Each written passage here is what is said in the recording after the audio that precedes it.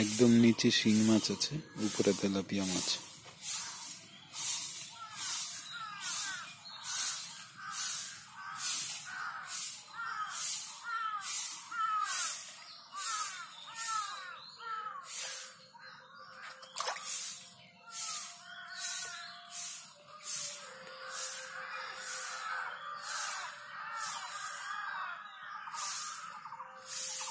এই যে নিচে শিং মাছ হচ্ছে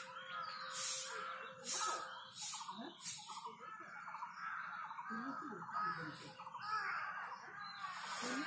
you.